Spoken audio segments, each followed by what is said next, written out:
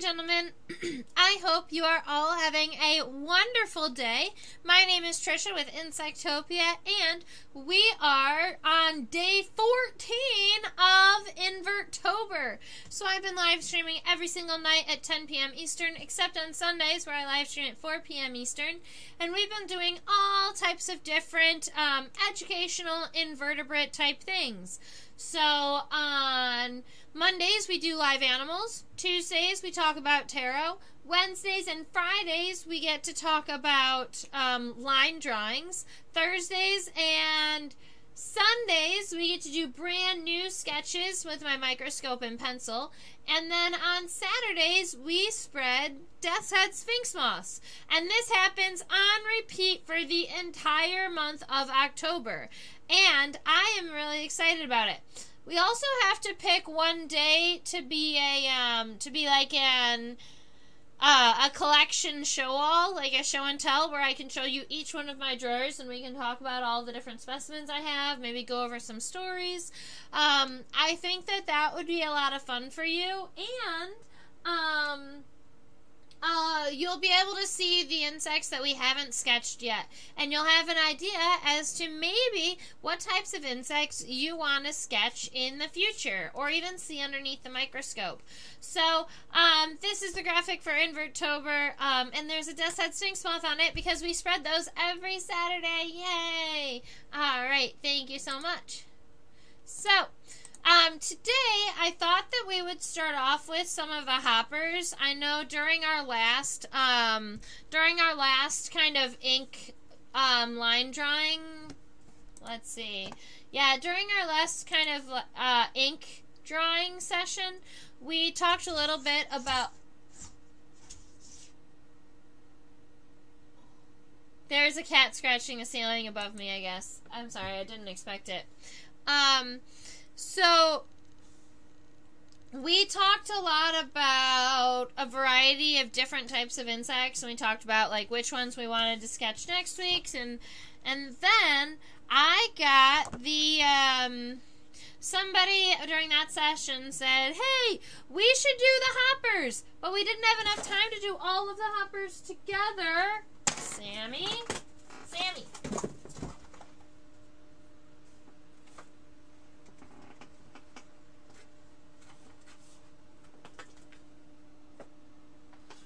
She didn't break anything. Sometimes my kitties get the zoomies, and it's my fault I haven't put some of my specimens away yet from previous sessions that we've um, drawn and seen. And so when I come downstairs, the cats get all excited, and they want to come downstairs too. Except that, um, I have specimens out, so we have to be really careful. And I heard her jump behind me, so that's why we went back there and fixed it. But that is fine. So we're going to get going and we're going to sketch some of these hoppers. I'm going to shrink me just a little bit so I'm not in the way. I feel like somehow I got bigger. All right, now I'm tiny. I love it. This is about the size I need to be because I want you to see my hands and my sketch more than um, I need you to see my face, right? I think so. So, um, the first insect that we're going to do is the family name is Cercopidae, and our common name for this type of insect is a frog hopper.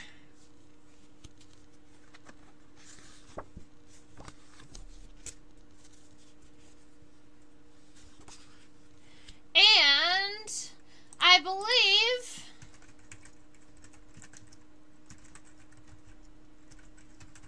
I'm double checking because I don't want to tell you anything wrong. All right, I am correct. Yahoo! All right. So, our Cercopidae, or the frog hoppers, when they're immature, they're actually called a spittle bug. And they live, they actually produce, I always thought that it was spit. But then I Googled it and learned that it's not actually spit. It comes out the other end and they bubble it. They essentially bubble their own pee and they create like a little bubble nest out of it. And that's what they live in. And they defend themselves against predators because nobody wants to go into that. Grody. All right. And this is what they look like as an adult. So we're seeing the head up here, our compound eyes, the pronotum. We've got here, these are our wings. Um, and this is the overall dorsal view of a frog hopper. It doesn't have, admittedly, it doesn't have a whole lot of characteristics on it. It's not like it has a whole bunch of hairs or like, um, a whole bunch of designs here. It's a little bit more plain, but that's okay. Cercopids, though, naturally are going to have all different types of designs. They're going to have all different colorations. So, um, you should definitely go and like look up some of the uh, some of the really beautiful colorations of frog hoppers. Now, when froghoppers are immature, I mentioned that their names are spittlebugs. They live amongst their own bubble home. And then eventually, when they become an adult, they move out of that home and they gain wings, the ability to fly, and they have these wonderful jumping legs. All right, so we've got this ink line done up here on my adult, but I also have a couple of more pictures down here on the bottom. I have this image of the head head on.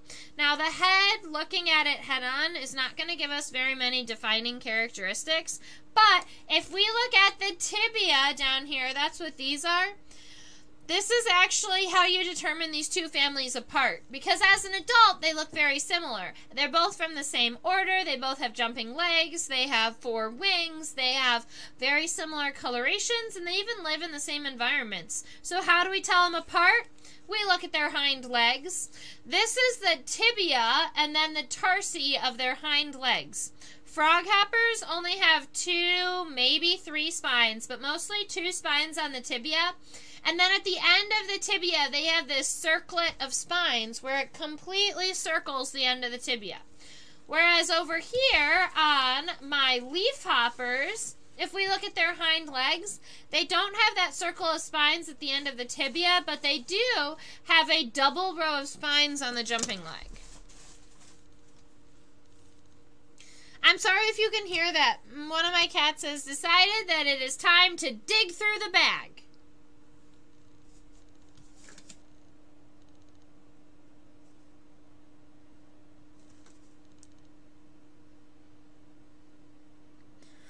So we're gonna go ahead and and give our um, and give hopper sketch a go with this ink.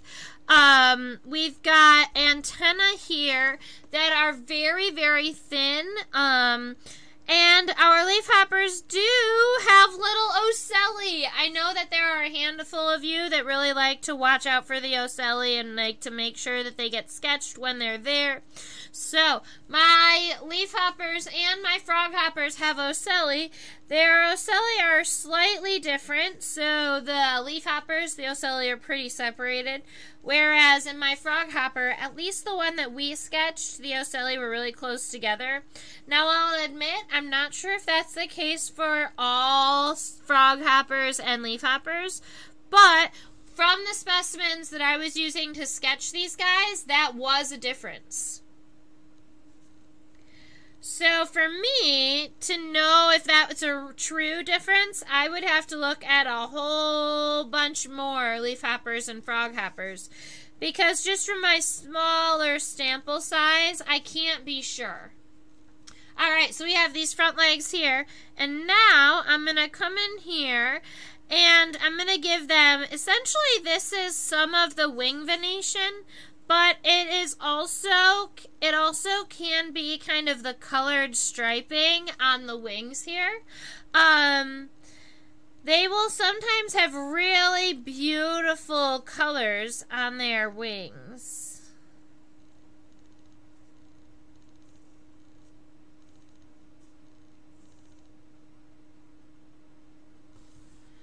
All right, so I think that's about right. And so we have both our frog hoppers and our leaf hoppers, and we know their difference based off of their hind legs. Now, if I flip our piece of paper over, we have two more types of hoppers. Now, all of these hoppers are what we consider true bugs. They're in the family Hemiptera. Um, so they have a piercing and sucking mouth part. Now, tree hoppers generally have what we call an enlarged pronotum. So if we look right here at the head and then look kind of behind the head, um, you can see that this section here is that first section of the thorax, except that it's really, really tall and it's really, really long. It goes all the way back like two thirds of the way past the length of the wings, right?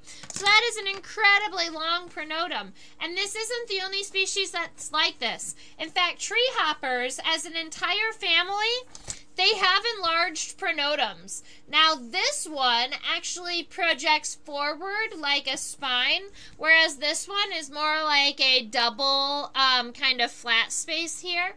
But in tropical areas, if you want to see some really crazy looking insects, look up tropical tree hoppers because they can have pronotums that kind of come up and they have like little spheres and little balls and little spines. Some of them look like they even have antlers. It's really, really awesome. So, um, I have never seen one of those in person, so I don't have any of my own personal images, but I do have my own sketches of tree hoppers that I've collected. Now, a lot of times tree hoppers are camouflaging into their environment using this um, this adaptation of this really large pronotum. So, for instance, um, this tree hopper here with the thorn coming up off of the front of the head, that's going to be a tree hopper that you can find regularly around rose or raspberry bushes. Rose and raspberry also have thorns, right? So not only does my tree hopper have a thorn on its pronotum, but the plants that it's feeding off of and the plants that it spends most of its time on are um, plants that have thorns, and he has a thorn.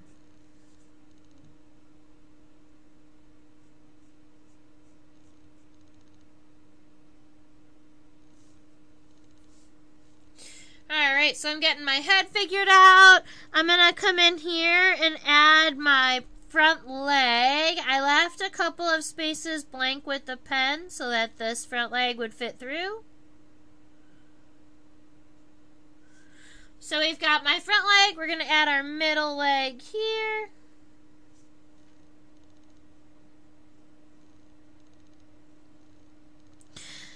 Now, if we look at the hind leg, you might get confused if you're trying to find like a certain number of hairs or a row of hairs on the hind leg. The characteristic for tree hoppers does not have to do with the hind legs like it does in frog hoppers and leaf hoppers. The characteristic in tree hoppers is that enlarged pronotum.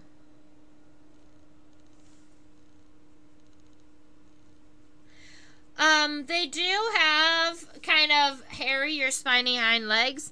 Um, so that can get you confused a little bit with leaf hoppers. Just make sure you're always checking these legs. I'm also going to add some of these wing venations.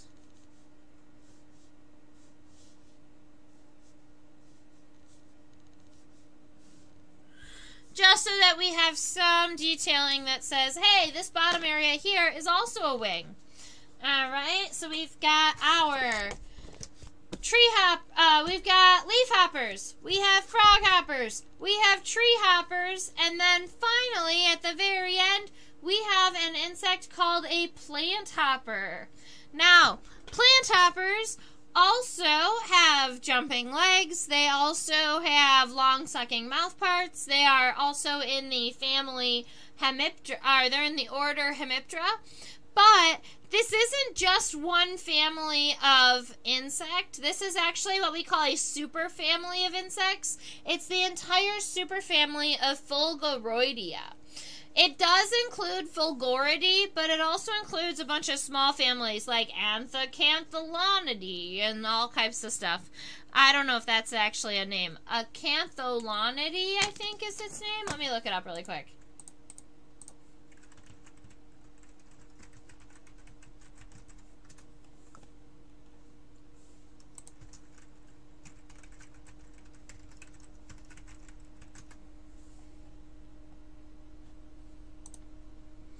So I'm looking up the Fulgoroidea, and then I'm gonna Acan Acanaloniidae.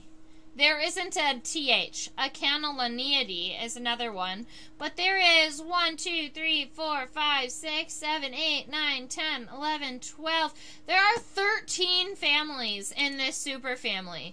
But those families aren't super speciose, so there are a good number of them, but it's not like there's a huge number of them. So when we're looking straight just at these Fulgoroidea, um, at these plant hoppers, our defining characteristic, the characteristic that we know, if we see this thing, we know it's a plant hopper, it's the fact that, well, first of all, that piercing and sucking mouth parts means it's in hemipteran. It's got these membranous wings and these jumping legs. It generally gets us to to a hopper, and then we're trying to figure out which hopper it is, essentially. Well, uh, plant hoppers, their antennal base, their antennal socket will always be underneath the antenna.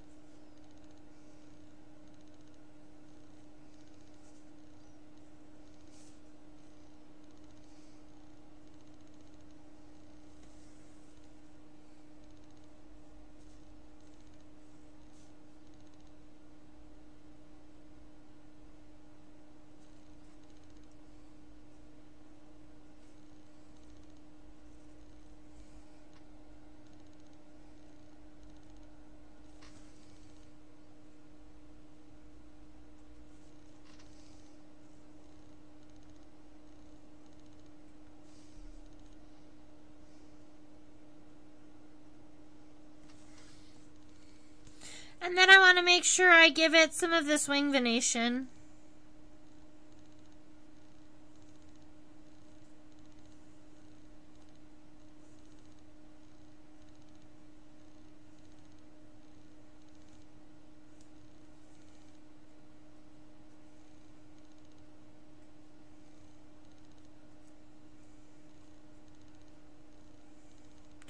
which are not only long veins down, but they are also cross, there's also a number of cross veins.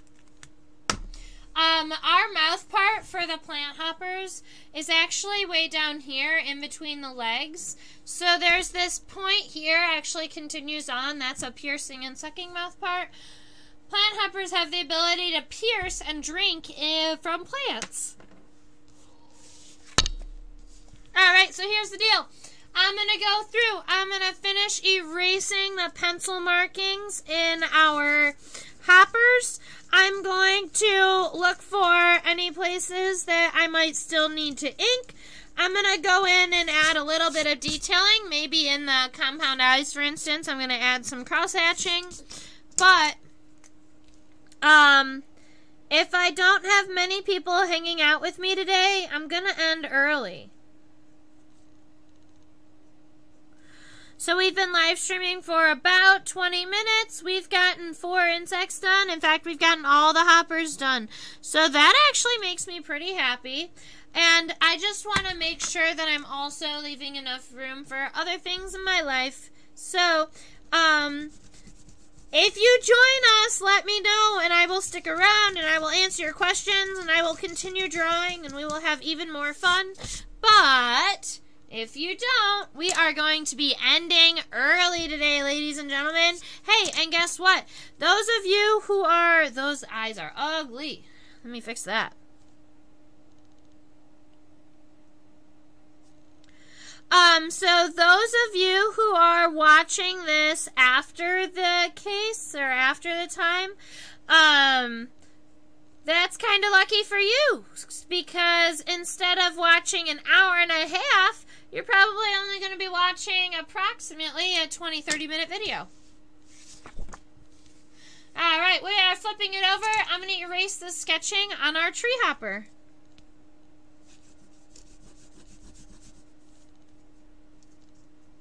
Oops. I forgot to give our tree hopper the bottom of its body. And it looks like the outline of the wing.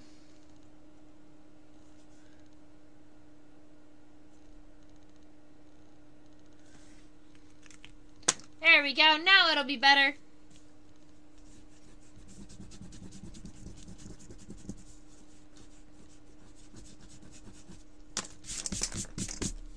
So that is our beautiful tree hopper. And then moving on down to our plant hopper, I'm going to erase all of this pencil and see what our see what our pen looks like.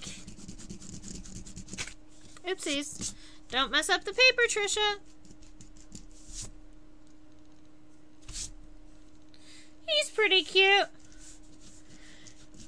There are a couple of places that I want to fix up that the line accidentally went through because I wasn't expecting it and those this and that and the other thing. But that is perfectly fine. Now, I think just a quick definition of the frog hoppers, leaf hoppers, tree hoppers, and plant hoppers is actually pretty good for one live stream. And since I don't have very many people asking questions and interacting with me today, we are just going to be signing off. So, that's all right with me. I live stream every night. Maybe we will have more people in tomorrow. So let's see.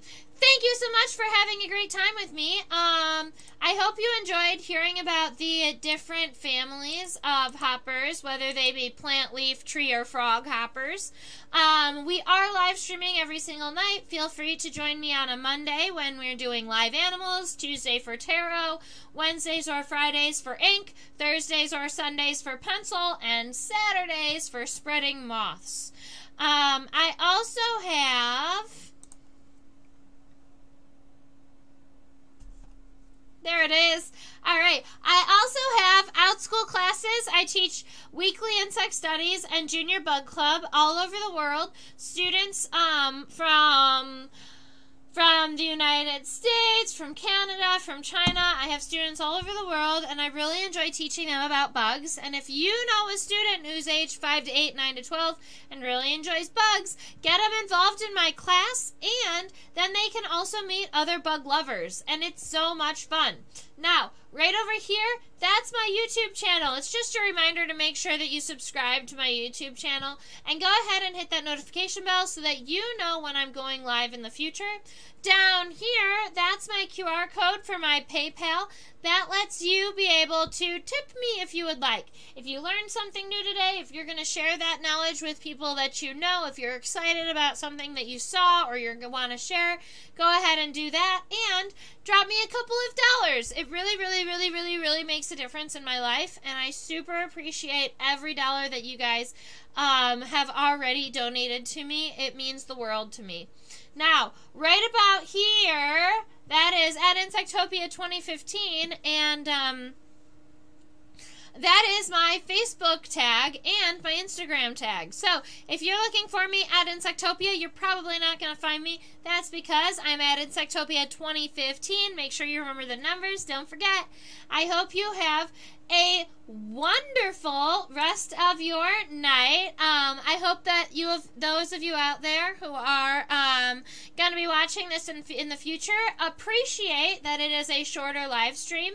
Have a wonderful rest of your night and stay buggy.